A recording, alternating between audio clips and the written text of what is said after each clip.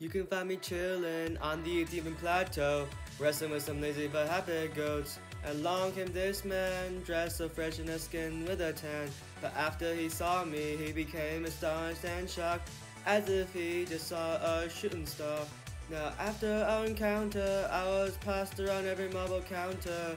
I got put on a ship, went on the best trip, sailed the world without a clue as to where I would go to. However, I sailed to the new world, far from the old world, without stopping for any breath. Met new people, touched new hands across every culture and religion. Traveled all over the Atlantic, now I know the world is gigantic. I was stopped in the new world, far from the old world, and now I'm here for a fresh start. My journey across the world is just one part. Now I gotta start the next one here, yeah. It was a pleasure traveling with ya.